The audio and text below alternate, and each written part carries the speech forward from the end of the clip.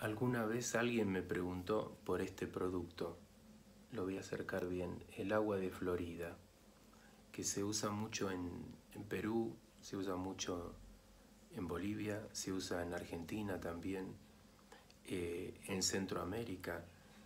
Es una loción que sirve para quitar las malas energías y para traer buenas ondas a tu vida. El agua de Florida yo, por ejemplo, la he visto que la venden en botánica de Miami. La venden en, botánicas de, la Argentina, hace poco estuve en Perú ahí también.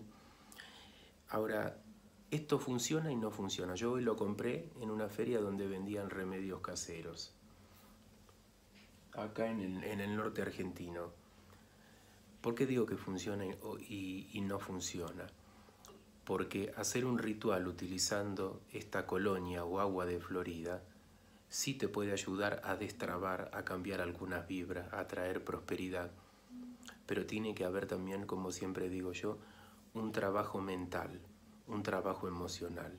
Si no, tú sistemáticamente vuelves a equivocarte, vuelves a elegir a la misma gente tóxica, vuelves a, repetir los mismos ciclos de, de relaciones tóxicas o, o de decretar carencias decretar carencias me refiero a que tú no te sientes merecedora de la felicidad, eh, de la prosperidad, entonces todo el tiempo decretas carencia, decretas pobreza y recibes eso. Entonces tú puedes decir, pero si hice el ritual con agua de Florida, como dicen los yamanes peruanos, los yamanes colombianos.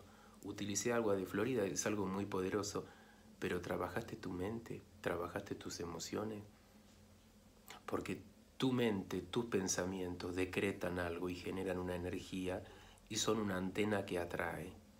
Trabajaste tus chakras, activaste tu glándula pineal, por ejemplo, que, como dijo una persona hace unos días y a mí me pareció, la verdad que muy, muy acertado, es una antena para traer prosperidad, creatividad. Activaste la glándula pineal, o sea, ¿Perdonaste a quien te hizo daño en la vida para poder avanzar, para evolucionar? ¿Hiciste todo este tipo de trabajo o solamente te rociaste el agua de Florida y esperas que hoy te vas a dormir después de hacer este ritual, que por supuesto es efectivo, pero le falta todo esto que digo yo? Y mañana por la mañana te despertás y porque hoy te pusiste agua de Florida, mañana todo va a ser maravilloso, mágico, todo se va a dar. Este video lo hago para pensar. Mucha gente tiene problema para pensar. Recién hablé con una mujer y me dijo, no estaba contestando, pero no sé por qué le contesté a esta mujer. Eh, la, iba, la iba a empezar a atender el lunes que viene cuando regreso a mi casa. La mujer me dice, Rodrigo, eh, mi novio me dejó, se fue con otra, me maltrató, me dijo que no me amaba. Em, y estuve viendo sus videos y empiezo a entender, ok, Quiero saber por qué él me dejó. ¿Y por qué crees tú? Le pregunto yo. ¿Y por qué hicieron brujería? O sea, no porque él la maltrata, la, la dejó de amar como él mismo se lo dijo, se fue con otra, le fue infiel, no respetó todas las promesas, etcétera, etcétera, etcétera, sino porque es brujería.